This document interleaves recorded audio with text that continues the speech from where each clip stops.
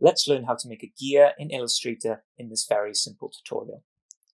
We'll start with the ellipse tool, come over to the left hand side, select ellipse and draw out an ellipse on your blank canvas. Once you have your ellipse, click and hold Alt and drag out a second ellipse that's the same size.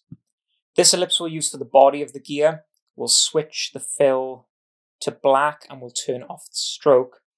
And then this ellipse we'll use for the teeth. And here we'll keep the stroke black, but we'll turn off the fill. Let's address the teeth first. We'll drag over the body to one side and we'll bring the teeth to the center using the Align to Artboard tool. Highlight the ellipse, make sure the stroke is selected, and then come to your stroke panel either on the side or under window stroke if you can't see it on the right hand side. There's a few options here we need to click now to create our teeth for the gear. Increasing or decreasing the weight of your stroke line will give you the thickness of the teeth. Be sure your stroke is aligned to center, and then you want to select dashed line option here and make sure that your align dashes to corners and paths end is selected. This will then keep everything in unison. Now the beauty of this is by using the dash and the gap, we can create as many teeth as we want at a thickness we like and a height and width that we like as well. So feel free to play around with this option until you're happy with the gap that you have, the thickness of the teeth, and also the weight as well, which you can kind of bring up and down. When you're happy then uh, with the teeth of your gears, make a duplicate of this by holding Alt and dragging out so that you can always revisit this part of the process and you can create gears in a number of different styles and shapes and sizes. Once you come back to the center, let's bring the body in now. So I'm going to use selection to drag this in. I'm going to highlight these two and I'm going to use the align to artboard to center these objects accordingly. So once I'm happy with this alignment, I'm going to take away the teeth for now and focus on the body section. Let's use white fill and no stroke, and I'm going to draw out then the sections I want within the body. So use the ellipse tool from the center, hold Alt and shift, and I'm going to draw out the center piece of my gear.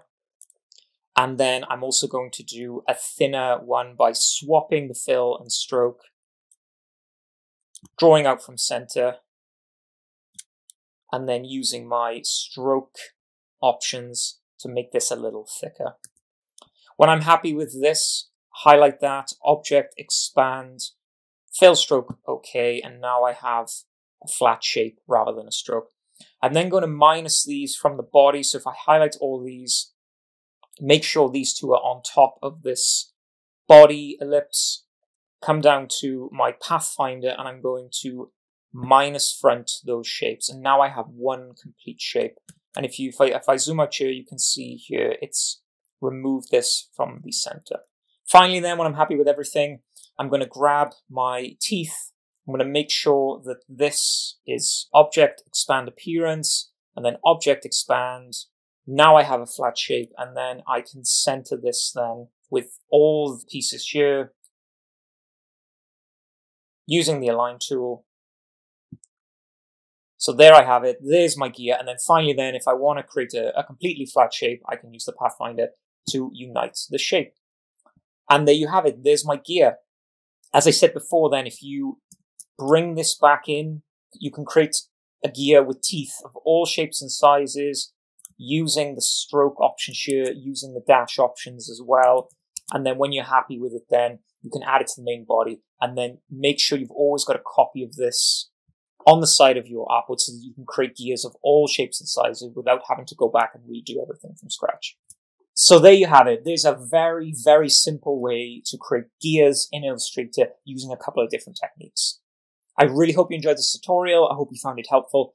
If you liked it, please subscribe to the channel, turn on notifications, and let me know in the comments of any other tutorials you'd like me to see do, either in Adobe Illustrator or other Adobe software.